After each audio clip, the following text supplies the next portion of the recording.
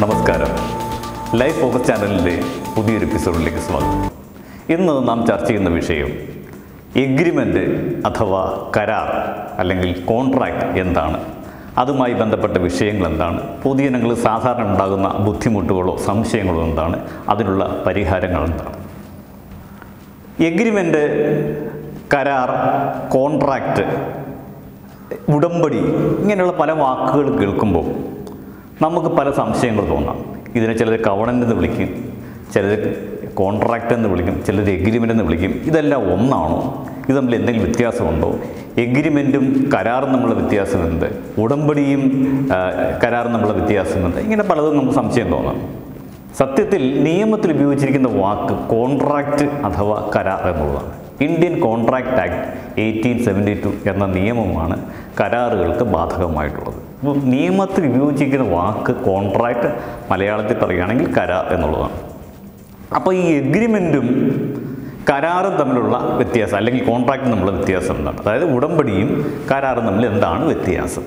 വ്യത്യാസം ഇത്രയേ ഉള്ളൂ. നിയമത്തിൽ പറയുന്നത് an agreement enforceable by law is a contract അതായത് നിയമസാധുതയുള്ള എല്ലാ ഉടമ്പടിയും കരാറാണ്.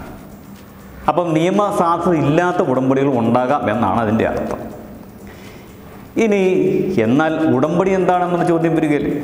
അതിന് നിയമത്തിൽ പറയുന്നത് offer and acceptance promise and promising ഈ ഒരു പ്രോമിസ് ഉണ്ടാകുകയും ആ പ്രോമിസ് അക്സെപ്റ്റ് ചെയ്യുകയും ചെയ്യുമ്പോൾ അല്ലെങ്കിൽ ഒരു ഓഫർ ഉണ്ടാകുകയും ആ ഓഫർ അക്സെപ്റ്റ് ചെയ്യുകയും ചെയ്യുമ്പോൾ ഒരു എഗ്രിമെന്റായി അല്ലെങ്കിൽ ഒരു ഉടമ്പടിയായി.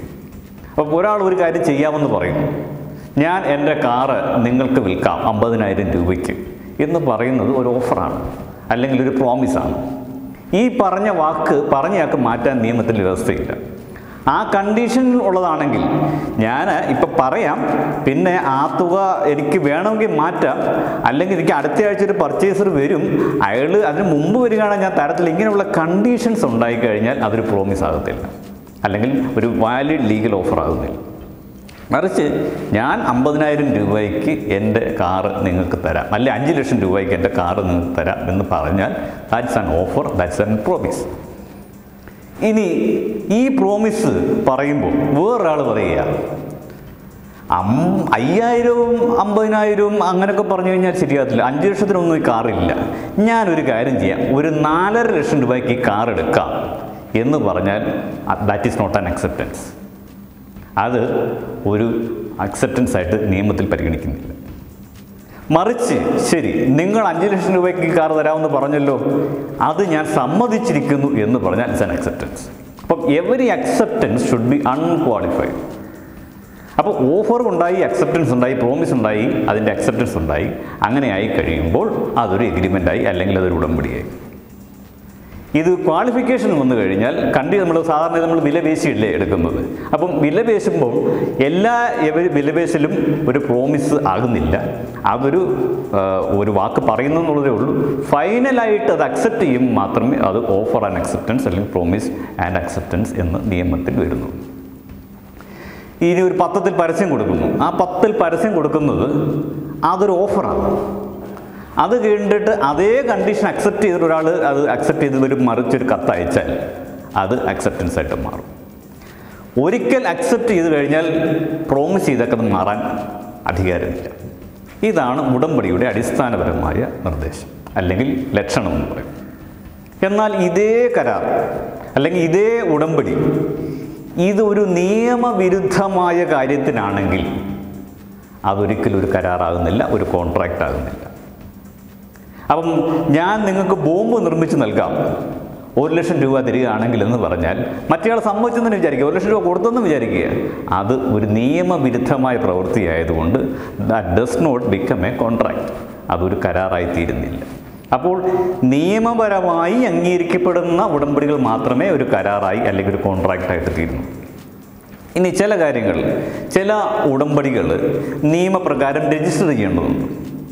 അപ്പോൾ അങ്ങനെ രജിസ്റ്റർ ചെയ്യാത്തടത്തോളം കാലം അത് ഒരിക്കലും അതൊരു നിയമപരമായ കരാറായിട്ട് മാറുന്നില്ല. ഫോർ എക്സാമ്പിൾ ഒരു വസ്തു വിൽക്കണം. അല്ലെങ്കിൽ വസ്തു വിൽപ്പന കരാർ ഉണ്ടാക്കുകയാണെങ്കിൽ അങ്ങനെയുള്ള വസ്തു വിൽപ്പന കരാർ രജിസ്റ്റർ ചെയ്യുന്ന നിയമപരമായ നിർബന്ധമുള്ള കാര്യമാണ് അപ്പോൾ രജിസ്റ്റർ ചെയ്യാത്തടത്തോളം കാലം ഉടമ്പടി എഴുതി ഒപ്പിട്ടു സ്റ്റാമ്പ് പേപ്പറിലാണെങ്കിൽ പോലും അതിന് നിയമപരമായ സാധ്യതയില്ല. എല്ലാ കാര്യങ്ങളും ഇല്ല. ഇപ്പം വസ്തു വിൽപ്പന കരാറാണെങ്കിൽ മാത്രമേ രജിസ്റ്റർ ചെയ്യേണ്ട നിർബന്ധമുള്ളൂ. അതുകൊണ്ട് നിയമപ്രകാരമുള്ള ഫോർമാലിറ്റീസ് ഉണ്ടെങ്കിൽ അതുകൂടെ കംപ്ലൈ ചെയ്തിരിക്കണം. അപ്പോഴാണ് ഒരു ഉടമ്പടി ഒരു കരാറായിട്ട് മാറും ഇനി വേറൊരു സംശയം തോന്നാം. എല്ലാ കരാറും രേഖപ്രകാരം എഴുതി ഇടണോ അത് വെള്ള പേപ്പർ മതിയോ? സ്റ്റാമ്പ് പേപ്പർ മതിയോ? വേണോ? സ്റ്റാമ്പ് പേപ്പറാണ് എത്ര രൂപയുടെ സ്റ്റാമ്പ് പേപ്പർ വേണം? അതിൽ ഇനി ഇപ്പം അതിൽ സാക്ഷികൾ സാക്ഷികൾ വേണോ? ഇനി സാക്ഷികളായിട്ട് ഒപ്പിട്ടാൽ അവർക്ക് എന്തെങ്കിലും പ്രശ്നം വരുമോ അങ്ങനെയൊക്കെയുള്ള സംശയങ്ങൾക്ക് പൊതുജനങ്ങൾക്ക് തോന്നാം. നിയമം പറയുകയാണെങ്കിൽ എല്ലാ കരാറുകളും രേഖാമൂലമാകണമെന്ന് നിയമം ഒരിക്കലും നിർബന്ധിക്കുന്നേയില്ല എന്നാൽ രേഖാമൂലമാണെങ്കിൽ അതിന് കൂടുതൽ സുതാര്യത വരും. ഇപ്പം ഒരു കരാറുണ്ടെന്ന് ഒരാൾ പറഞ്ഞു മറ്റേയാൾ ഇല്ലെന്ന് പറഞ്ഞു. കോടതി സ്വാഭാവികമായിട്ട് ഒരു കരാറുണ്ടെങ്കിൽ ഇന്ത്യ കരാർ അപ്പം നമുക്കൊരു റിട്ടേൺ കരാറ് നമുക്ക് കോടതിയിൽ ഹാജരാക്കാൻ സാധിക്കുമെങ്കിൽ ഇത് ഇറ്റ് ഈസ് മോർ ട്രാൻസ്പെറന്റ് അങ്ങനൊരു ഗുണമുണ്ട് എന്നാൽ നിയമം അനുസരിച്ച് എല്ലാ കരാറും രേഖാമൂലമുള്ളതാകണമെന്ന് നിർബന്ധമില്ല. ഞാൻ നടത്തിയ ഒരു കേസിനകത്ത് ജസ്റ്റ് ഒരു വാക്കാലുള്ള വാടക കരാർ. അതിന്റെ പേരിൽ കേസ് കൊടുത്തു. കീഴ്ക്കോടതി ആ കേസ് തള്ളി അല്ലെ വിസ്താര കോടതി തള്ളി. മേൽക്കോടതി അപ്പീൽ കോടതി അത് അനുവദിച്ചു. അപ്പം അതിനകത്ത് ഒരിക്കലും ഒരു രേഖാമൂലമുള്ള കരാറില്ല. എന്നാൽ ഞാൻ അഡ്വൈസ് ചെയ്യുന്നത് കഴിവതും അത് രേഖാമൂലമാക്കിയാൽ കൂടുതൽ സുതാര്യത നിങ്ങൾക്ക് വരും. അല്ലെങ്കിൽ കോടതിയിൽ തെളിയിക്കാൻ സാധാരണഗതിയിൽ ബുദ്ധിമുട്ടുണ്ടായിരുന്നു വരും. ഇനി രേഖാമൂലമല്ലാത്ത ഒരു കരാറിന്റെ ഉദാഹരണം ഞാൻ പറയും. നമ്മളൊരു കെ എസ് ആർ സി ബസ്സിൽ കയറും എറണാകുളത്ത് നിന്ന് തിരുവനന്തപുരത്തിന് പോകുന്ന കെ എസ് ആർ സി ബസ്സിൽ നമ്മൾ കയറിയാൽ അവിടെ നമ്മൾ കണ്ടക്ടറുമായിട്ട് ഒരു എഗ്രിമെന്റും ഒപ്പിടുന്നില്ല. പക്ഷേ ആ ബസ്സെ നിങ്ങൾ കാൽ കുത്തിയോ ഫുട്ബോളെ കാൽ കുത്തി അകത്തോട്ട് കയറിയോ പിന്നെ അവിടെ ഒരു ഇംപ്ലോയിഡ് കോൺട്രാക്ട് അത് രേഖാമൂലമല്ലാത്ത ഒരു കരാർ അവിടെ സ്ഥാപിക്കപ്പെടുകയാണ്. ആ ബസ്സിൽ കയറിയാൽ നിങ്ങൾക്ക് ഏത് ഡെസ്റ്റിനേഷനിലേക്കാണ് പോകേണ്ടത്? ആ ഫെയർ ബസ് ഫെയർ കൊടുക്കാൻ ഞാൻ തയ്യാറാണ് എന്ന് നിങ്ങൾ ആ ഫുട്ബോൾ ചവിട്ടി ബസ്സിലേക്ക് കയറുമ്പോഴേ അതിൽ നിങ്ങൾ എഗ്രിമെന്റ് ഒപ്പിടുന്ന മാതിരിയാണ് നിയമത്തിൽ കാണുന്നത്. അപ്പോൾ അതുകൊണ്ട് ഇപ്പം നമ്മൾ ഒരു ഓട്ടോറിക്ഷ വിളിക്കും. ഓട്ടോറിക്ഷക്കാരൻ നമ്മൾ എഗ്രിമെന്റ് ഒന്നും ഒപ്പിടുന്നില്ല പക്ഷേ ആ ഓട്ടോറിക്ഷ കയറി ഒരു വണ്ടി വിളിക്കുമ്പോൾ തന്നെ അതിന്റെ തുക കൊടുത്തോളാം എന്നുള്ളൊരു കരാർ അവിടെ വരികയാണ്. ഇനി നമ്മൾ ഒരു നമ്മുടെ ഒരു ടെലിവിഷൻ അല്ലെ ഒരു കമ്പ്യൂട്ടർ ഒരു ലാപ്ടോപ്പ് നമ്മൾ റിപ്പയർ ചെയ്യാനായിട്ട് റിപ്പയർ ചെയ്യുന്ന സ്ഥാപനത്തിൽ സർവീസ് ചെയ്യാൻ കൊടുത്തു. അല്ലെ കാറ് സർവീസ് ചെയ്യാൻ കൊടുത്തു. നമ്മൾ സാധാരണ ഇതിൽ എല്ലായ്പ്പോഴും ഒരു എഗ്രിമെന്റ് ഉണ്ടാക്കുന്ന ഒരു നിർബന്ധമില്ല പക്ഷേ അവിടെ ഒരു ഇംപ്ലീഡ് കരാറുണ്ടായിരിക്കാം ഇപ്പം നിങ്ങളുടെ കാറ് സർവീസ് ചെയ്തു. ലാപ്ടോപ്പ് സർവീസ് ചെയ്തു. നമ്മളത് കഴിഞ്ഞ് ഒരാഴ്ച കഴിഞ്ഞ് വാങ്ങിക്കാൻ ചെന്നു. അയാൾ പറഞ്ഞു ഇതിന് ഇത്ര രൂപ അല്ലെങ്കിൽ ലാപ്ടോപ്പ് സർവീസ് ഇതിന് ആയിരം രൂപ എന്ന് പറഞ്ഞെന്ന് വിചാരിക്കും. നിങ്ങൾ പറയുക അത് എന്റെ ഇപ്പം ഇല്ല. എന്റെ ലാപ്ടോപ്പ് തന്നെ സൗകര്യം പോലെ തിരിച്ചു തരാമെന്ന് പറഞ്ഞാൽ ആ പൈസ കിട്ടുന്നത് വരെ ആ ലാപ്ടോപ്പ് അവിടെ റീറ്റെയിൻ ചെയ്യാൻ അല്ലെങ്കിൽ സർവീസ് ചെയ്യാൻ കൊടുത്ത കാർ അവിടെ റീറ്റെയിൻ ചെയ്യാൻ ആ വർക്ക്ഷോപ്പുകാരനോ അല്ലെങ്കിൽ ലാപ്ടോപ്പ് സർവീസ് പ്രൊവൈഡർക്കോ അധികാരം അതിന് നിയമപ്രകാരം ലീൻ എന്ന് പറയും. തന്റെ സർവീസ് ചാർജ് കിട്ടുന്നവരെ ആ സാധനം അവിടെ പിടിച്ചു വെക്കാനുള്ള അധികാരം ആ വ്യക്തിക്കുണ്ട്. അവിടെ നമ്മൾ കരാറൊന്നും എഴുതി ഒപ്പിടുന്നില്ല. പക്ഷേ ഇങ്ങനൊരു ലീൻ ആ വ്യക്തിക്കുണ്ടാകും. ഒരു അവകാശം. എന്റെ പൈസ കിട്ടാനുള്ള അവകാശം. അത് കിട്ടിയാൽ മാത്രമല്ല വിട്ടുകൊടുക്കേണ്ട ആവശ്യം. നമ്മൾ പണയത്തിനൊക്കെ വസ്തു വെക്കും പണയത്തിന് സ്വർണം വെച്ച് കഴിഞ്ഞാൽ ആ പണയത്തുക അതിന്റെ പലിശ സഹിതം കൊടുത്താൽ മാത്രമേ നമുക്കത് തിരിച്ചു തരാനായിട്ട് അദ്ദേഹത്തിന് ബാധ്യത. ഇനി യഥാസമയം പണയം വെച്ച ആ സ്വർണം നമ്മൾ പലിശ അടച്ച് മുതലും അടച്ച് തിരിച്ചെടുക്കുന്നില്ലെങ്കിൽ ഒരു നോട്ടീസ് നിങ്ങൾക്ക് അയച്ചിട്ട് ആ സ്വർണപ്പണയം വാങ്ങിയ ആൾക്ക് നിയമപരമായി അത് വിൽക്കാൻ ലേലത്തിൽ വിൽക്കാനുള്ള അധികാരം അദ്ദേഹത്തിനുണ്ട് ഇതിനകത്തൊന്നും ചിലപ്പോൾ റിട്ടേൺ കരാർ ഉണ്ടാകണമെന്നില്ല പക്ഷേ ആ ഒരു നിയമ അധികാരം അവിടെ ലഭിക്കുകയാണ്. എന്നിരുന്നാലും ഞാൻ മുമ്പ് പറഞ്ഞതുപോലെ രേഖാമൂലം ഒരു കരാർ ഉണ്ടാക്കും നന്നായിരിക്കും. ഒരു ഉദാഹരണം പറഞ്ഞാൽ സാധാരണഗതിയിൽ ഒരു കരാറുണ്ടാക്കുമ്പോൾ സ്റ്റാമ്പ് ആക്ട് അനുസരിച്ച് ഒരു അതിന്റെ വാല്യുവേഷൻ ഉണ്ടെങ്കിൽ അതനുസരിച്ചുള്ള തുകയ്ക്കുള്ള കരാറുണ്ടാക്കുക. എന്നാൽ അതില്ലെങ്കിൽ മിനിമം ഉള്ള തുകയ്ക്ക് ഉള്ള കരാർ മിസ്ലിനിയസ് കരാറാണെങ്കിൽ മിനിമം അതിന് ഇരുന്നൂറ് രൂപ. അത് കാലാകാലങ്ങളിൽ മാറ്റം വരാം.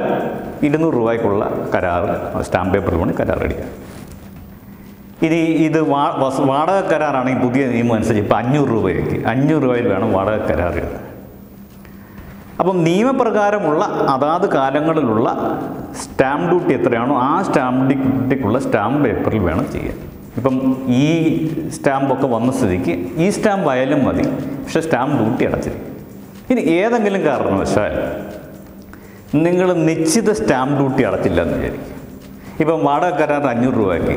നിങ്ങൾ ഇരുന്നൂറ് രൂപയുടെ അല്ലെങ്കിൽ മുന്നൂറ് രൂപയുടെ സ്റ്റാമ്പ് പേപ്പറിൽ മാത്രമേ ഈ വാടക കരാർ എഴുതിയുള്ളൂ എന്ന് വിചാരിക്കും അങ്ങനെയാണെങ്കിൽ ഈ കരാറിന് നിയമസാധുതയുണ്ടോ ഇല്ലയോ?